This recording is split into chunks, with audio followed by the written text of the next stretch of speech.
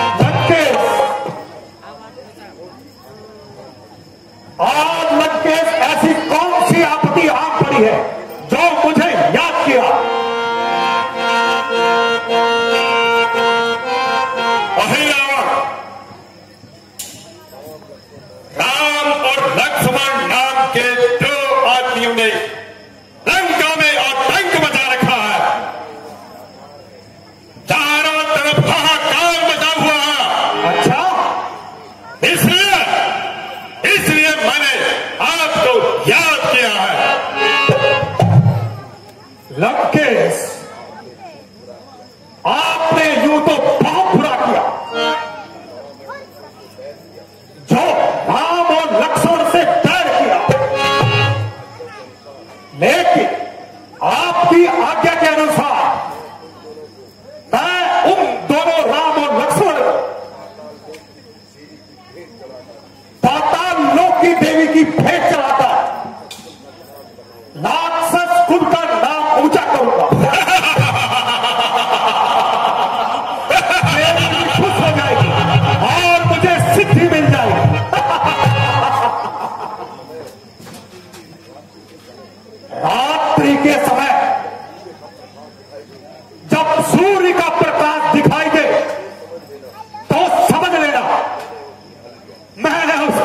गया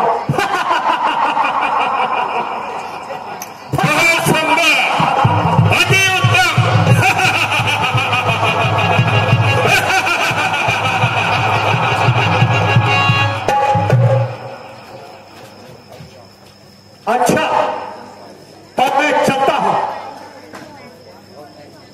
लाश पर लाश होगी।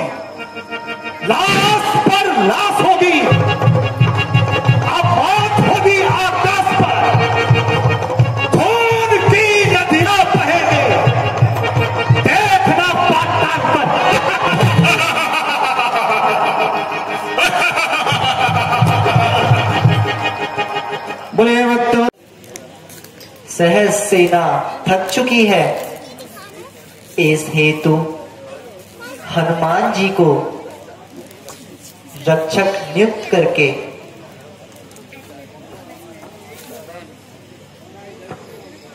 जो आज्ञा महाराज।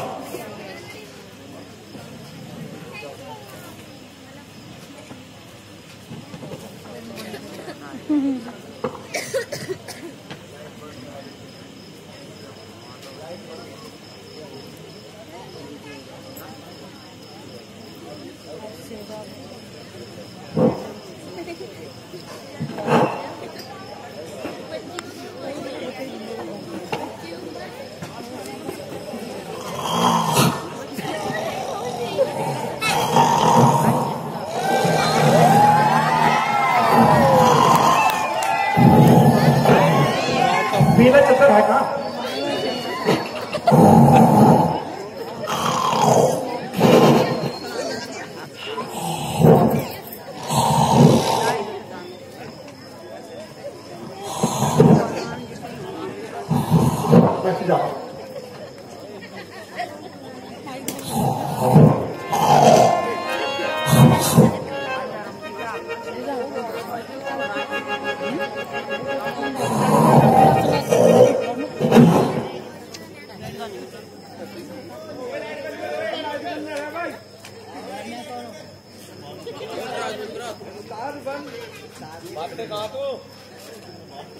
भीषण जी इस रात्रि के समय आप कहाँ से आ रहे हो? हे पवन कुमार मैं भगवान से आज्ञा लेकर संध्या हेतु गया था किंतु विलंब हो गया। अच्छा तो आप जाकर विश्राम कीजिए। ठीक है पवन पुत्र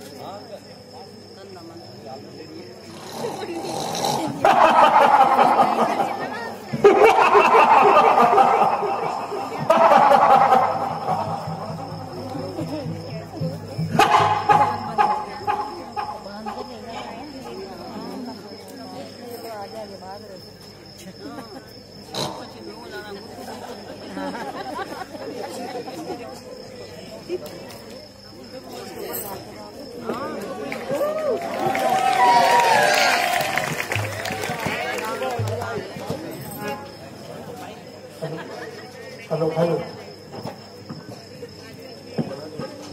हनुमान जी राम लक्ष्मण जी कहाँ चले गए न जाने कहाँ चले गए। क्या रात्रि के समय यहाँ कोई आया था? हाँ युवराज विभीषण जी यहाँ ज़रूर पधारे थे। हनुमान जी, मैं तो यही था। तो फिर आपका भेष कौन बना सकता है? मेरा भेष तो केवल पाताल नरेश रावणी बना सकता है। किंतु वह पाताल लोक में रहता है।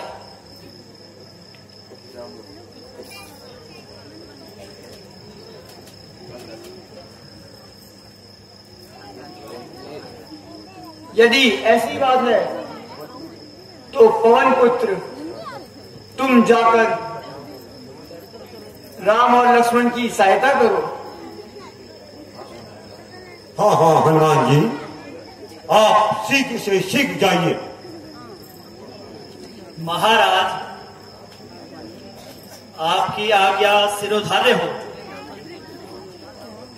किंतु आप लोग भी सावधान रहना। मैं सप्त सिंधु नवखंड जहाँ भी हो प्रभु को लेकर आऊँगा। अन्यथा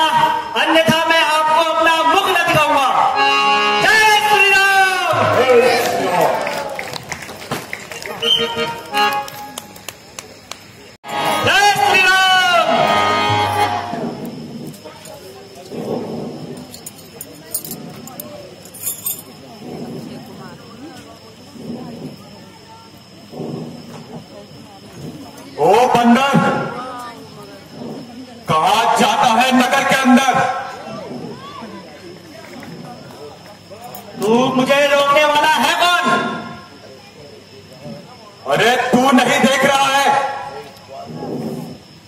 मैं इस द्वार का रक्षक हूँ। तथा महावीर हनुमान जी का पुत्र हूँ। समझा? अरे मूर्ख, तुझे लज्जा नहीं आती? जो कुछ बाल ब्रह्मचारी पर ऐसा लांछन लगाता है। तू क्या मेरा पुत्र बिना विवाह के ही पैदा हो गया? तो क्या आप मेरे पिताजी हैं? फिर फिर से वही बात। जरा अपनी जबान संभाल कर बात कर अन्यथा अन्यथा तेरी हड्डी बदली तोड़ दूँगा। पिताजी, फिर से वही बात। नाराज़ ना होइए पिताजी। मेरी बात तो सुन लीजिए। अच्छा अच्छा तो बोल, क्या कहना चाहता है? तो सुनिए, जब लंका दहन के समय आप समुद्र मार्ग से वापस आ रहे थे। उस समय मेरी माँ मछली का रूप धारण कर समुद्र पर विहार कर रही थी। उसी समय आपने अपनी पसीना की बूंद पूजी जो कि मेरी माँ के मुँह में गिरी। जिससे मेरा जन्म हुआ।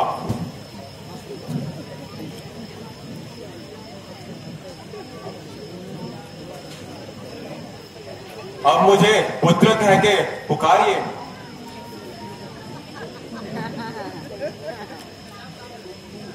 तो तू हट कर रहा है? चल तो फिर राम कार्य हेतु मैं तुझे पुत्र कहने में भी कोई संकोच नहीं मानता। हाँ पिताजी मेरा प्रणाम स्वीकार कीजिए। चिरंजीव रहो पुत्र चिरंजीव रहो। अब मुझे अंदर जाने दो। जाते कहा हो? बिना युद्ध करे हुए। एक कदम आगे नहीं जाने दूँगा।